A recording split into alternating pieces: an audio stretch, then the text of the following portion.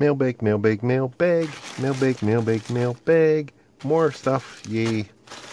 But before we get to that, today's beer is Grandpa's Sweater Oatmeal Stout from Barnhammer Brewing, a new local microbrewery here in Winnipeg. Um, conveniently located within walking distance of one of my work locations. Um, I've actually been drinking growlers of this particular beer for several months now, and I'm excited to find that it's also available in cans. Um, 5.4 ABV, 140 IBU, nice and low, makes me happy. Rich, robust, smooth. Comfortable like a grandfather's sweater. It's just nice. It's not quite as creamy a head as, say, a Guinness or something. Especially if I pour it nice and slow like that, but it's still a very nice beer.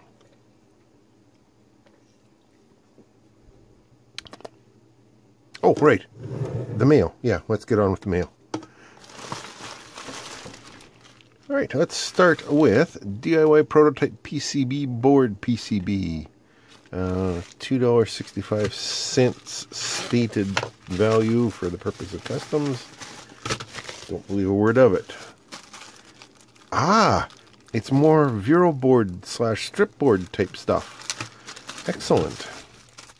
I knew I ordered more than just the one that I opened down the last mailbag. Um, and this is five of them. Oh, they got a nice grid laid out on this side too. So A through X going down that way. Um, A through X going down that way, although that looks like it belongs to the to the previous board. Uh, numbered 1 through 24 down there. Now I'm not sure why these two have dots screen printed onto them. And this first column is special because it isn't. There's nothing special on that side. But again, just like the previous ones, which I shall grab here. Um, there they are. It has tracks running the length, and if you uh, are building your circuit and you need a gap in there, you just cut it with this or with a little drill bit. That's nice. Okay, let's uh, let's see how much I paid for those. Stripboard prototyping, 6.5 by 14.5 centimeters, uncut PCB, platine, single side circuit board five times, from Bobo, 1992 0901-0. Uh, I paid $4.18 Canadian for it with free shipping. Uh, Americans could buy it for $3.22. Okay, next in uh, expansion board module 1, expansion board module 1, plastic patch 1. Hmm. A multi pack, it would appear.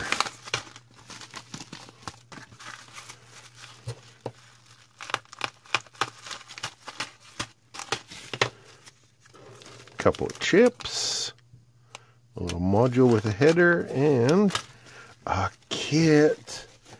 Yay. Uh, let's see what we got here for the chips. Where's my magnifying glass?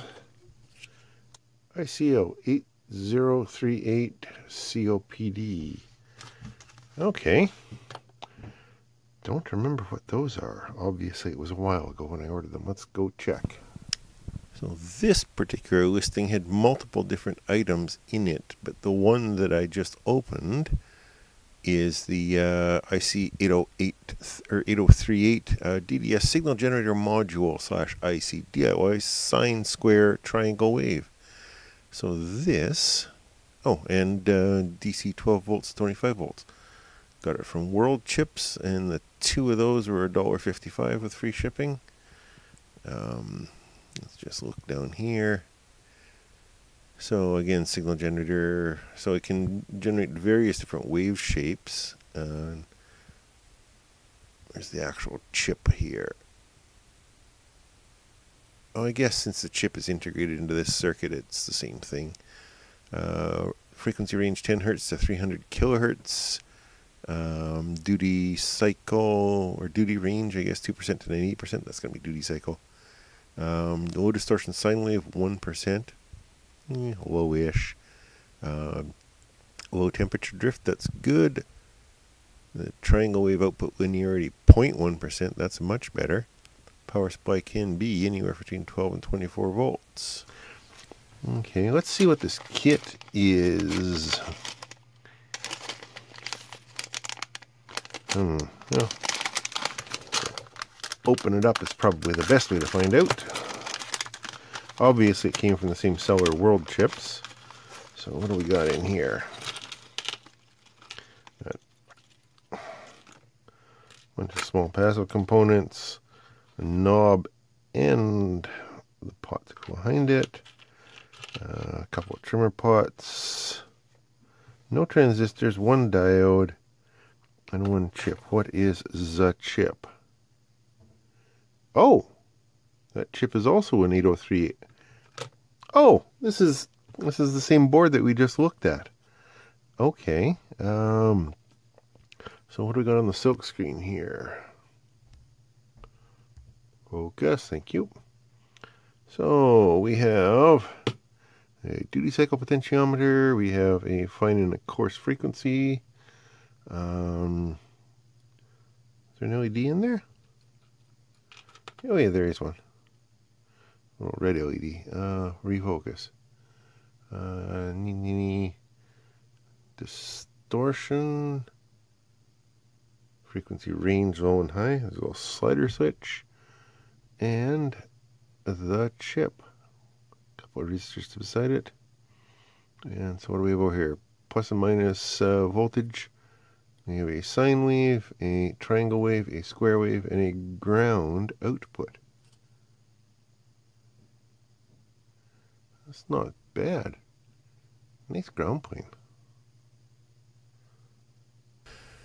Okay, I'm pretty sure this is the one that I ordered. There's several variants on the kit in there uh, blue, green, yellow one, and then one that just says kits. And in the picture, it also shows the schematic coming with it and the instruction sheet. But this one doesn't have that, so I think that's the one I got, which was two dollars and eighty-four cents. Again from World Chips, and we just reviewed in the uh, previous clip what exactly this thing does, so I don't need to go into it again.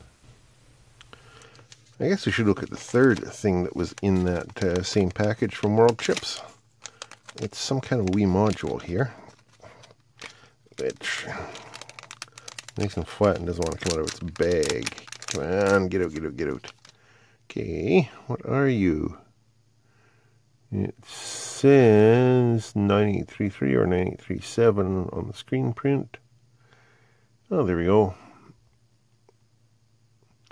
VCC data grounds, uh, S data, S clock, F sync, A ground, out. Hmm. Okay, uh, part numbers for the board are there OY 9, what is that, uh, 9833 or 9837. Okay, so suppose I could zoom, and try and, I need a bigger magnifying glass for that one, don't I? D68 and a little resonator beside it or something. Couple capacitors, couple capacitors, not much else. Have to resort to the listing to figure out what this guy is, I think. Programmable microprocessors, sine wave, square wave, AD9833 DDS signal generator module. Oh, it was on a signal generator kick when I bought this. So of course it's also from World Chips, uh, four bucks seventy four cents, free shipping. What does it have to say about it?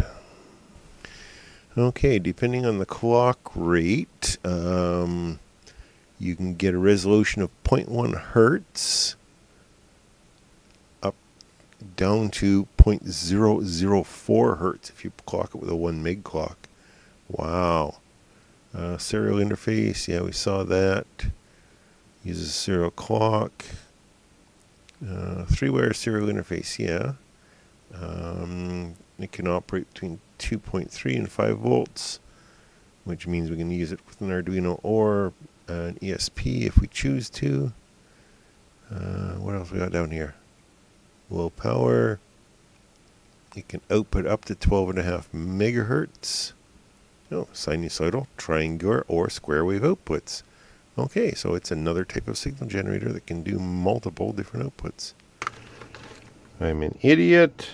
I opened the next item with the camera turned off.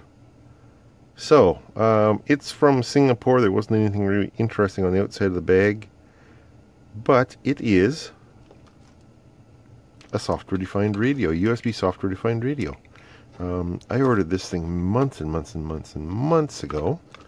It came with a, a remote control, which I don't think will be of any use to me. Although, you know, infrared remote controls are always handy. It's got a little battery protector sheet in here, does it? It did. It came with its own battery. Batteries included. How do you like that? Anyway, um, well, the other thing it came with is a software with a software CD, which I don't think I'll be using. Mostly because it'll be Windows software and I've got a Linux machine. So, um, anyway, so the antenna, magnetic antenna, good strong magnet too, connects to this little port on the side here. I can't remember the exact name of that type of connector, but it's it's not unknown. It's used in um, if you crack open your laptop, it might be something like that going between the uh, Wi-Fi antenna and the Wi-Fi module. Um, USB on that side. So these things are based on an RTL uh, chipset, which is very common chipset for software-defined radios. Um, it's got built-in decoders for DAB and DVB, which are the European uh, digital television standards, which of course doesn't work in North America because we use a ATSC. Um, but the radio chips in it can be addressed directly with proper software and that's why I bought it because then you can use it as just a normal FM receiver tunable all over the place almost like a ham receiver. FM or AM receiver actually. Or as a spectrum analyzer. Dun dun dun. That's probably what I'm going to use it for if I can get it working. Um, there is some Linux software uh, that works with these apparently. I don't have it loaded up on my laptop right now because I don't think my laptop's got enough guts to handle it. But I'll try it. But first, I'm going to try and find the listing for this. Okay, since I it was a long time ago when I bought this thing, like I looked it up. It was actually about six months, literally, that it took from when I ordered it to when it showed up. um, so the listing's obviously not around anymore, but this is another listing of the same product from the same seller. That seller being Snake Wing 2005. Yes, he actually calls himself Snake Wing. Brilliant. Uh, I paid less than this at the time. I paid I think 560. Um, this particular one's got uh, some shipping on it too. Whatever. So the search terms you're looking for, if you want one of these things, USB, um, okay, so DVB, blah blah blah, whatever. Uh, HDTV, don't let that fake you out. That's not North American HDTV. That's European. Um, the two chips that are in here, RTL 2832 and an R5, or uh, sorry, an R820T one of those is the video decoder, and one of them is the radio chip. Um, and that's what you're looking for if you want to track down one of these things. There's lots of them, and they're cheap. Next up, digital voltmeter module. That sounds cool. Of course, it's not what's in the package, not even close. These are little LED modules. Um, oh, I think I think these are the LEDs they call Piranha LEDs for reasons that I can't find an explanation for. Uh, we got a plus or a minus in there. And we got. Hmm, those, don't look like resistors, but I would expect them to be. What do we got here for tracks? Okay. So this column's in parallel. And that is a resistor. Hmm. Let me get out my meter. I'm not even going to look at the listing yet. I just want to find out find out about these things. So that resistor is 50 ohms, 51 ohms. Okay. There's three of those in parallel and 50 ohms. Eh. I don't know anything about these LEDs. I'm going to, yes, I am. I'm going to power them up. Without going through the preliminaries of learning about them. Is that risky? Of course it is. Do I care? I've got two of them. So right now I've got my power supply over here set for 5 volts. Can you see that? You can't see that. I'll just plug those into the plated through holes and hope for the best.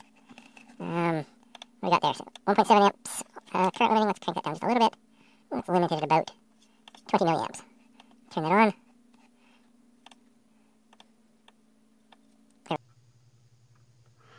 Curious. Maybe we will have to look at the listing.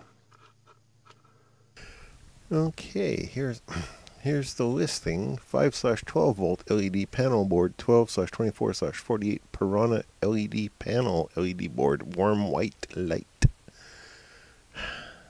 Uh, from Module Fans, ordered a bunch of stuff from them. So there's several different shapes of board in here, like it says. There's the 12 volt 48 LED. I didn't get that. I got a 24 volt or 24 LED board. So there is a 5 volt LED board with a big honking resistor on there. There is the 12 volt LED board, which looks exactly the same. Uh, also with the big honking resistor. None of the pictures show the back of the 24 LED board. They all show the front. This one is the 12 LED board. Uh, so I'm still not sure exactly which one I got. I'm going to have to try a few experiments and find out. Okay, I figured it out it was my own dumb mistake. I wasn't making good contact with these, that's all. So I'm back down to 5 volts because that's safer. And turn it on, and boy, howdy, she's bright. So I'm not sure if you can see that over there. But at 5 volts, it's drawing 320 milliamps. And according to the listing, at 5 volts it should draw 360 which is pretty much bang on. I don't want to run it up to 12 because obviously it's a 5 volt device. Um, so let's just those things those are bright. And they're so bright. Can you see them through my beer? Okay they're not quite bright enough for that but and with these little dome lenses on them they're kind of focused and directional too so that's neat. But, uh, let's just throw a meter across them just for the fun of it. So, as I said before, there's columns of LEDs in parallel. So the voltage drop across one LED is 2.78 volts. The voltage drop across the resistor is 2.07 and the power supply is showing 4.98 volts so yeah that makes sense. Okay. Wow those are bright. But I still don't know why they're called piranhas. So this that I totally opened with the camera paused is the final thing for today. It is a kit It is specifically a kit that is entirely surface mount. And it is our old friends, the 555 and 4017 Light Chaser Circuit. The part in the middle is the actual uh, blinky light circuit. All the columns on the sides are just surface mount practice pads. Um, the, there's resistors and capacitors of so 1206 resistors, 805 capacitors and resistors, 603 caps and resistors, and 402 resistors. The resistors are all in series over there um, that come down to the pad. The capacitors are all in parallel, so you're adding in all cases, and just making sure that you've got uh, some got your uh, surface mount soldering skills on point.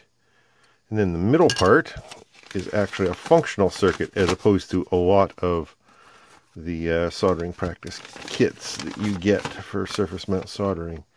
And it is typical 555 uh, oscillator typical 4017 uh, sequencer for the for, for the uh, 10 outputs and then the carry output which acts as an 11th output essentially goes out through some steering diodes um, through some series resistors to the base of four transistors four npn transistors to drive four more leds which are two, three, four, those guys.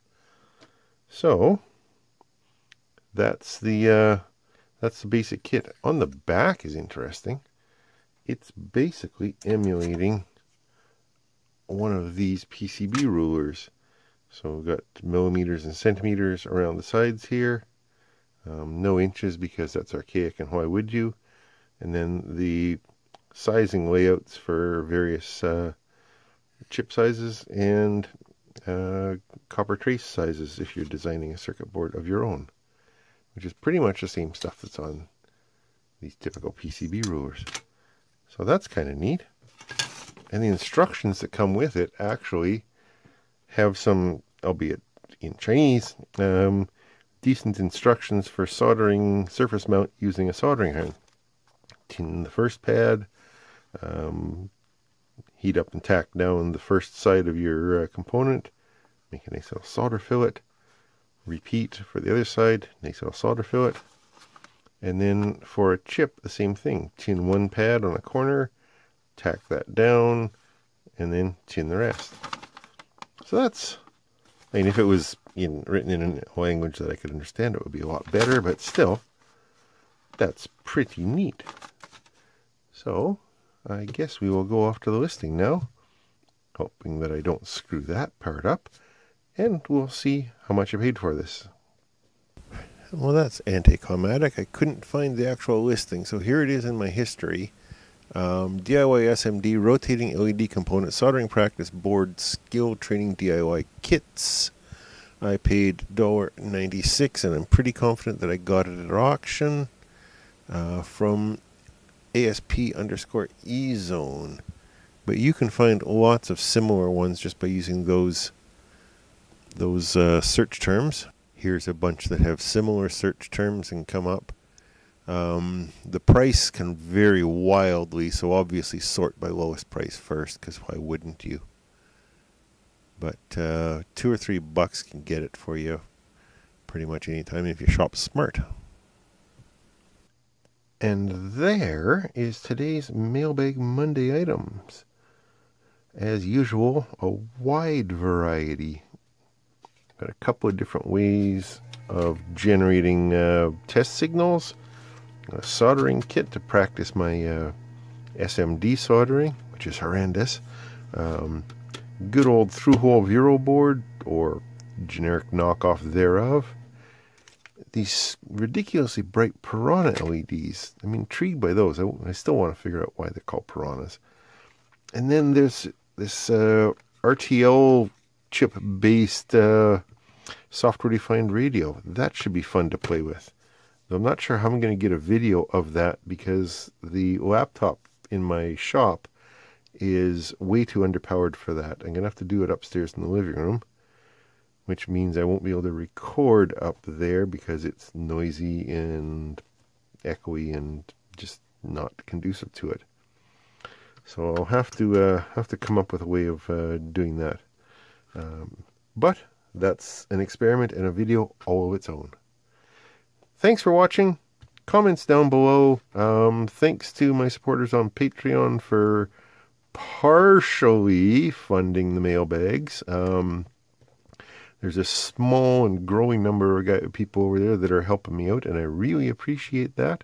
If you feel like throwing a buck in my tip jar, uh, the link's in the description, along with the links to all these things. Um, except for that one because I couldn't find the link. All right. Thanks for watching. Talk to you later.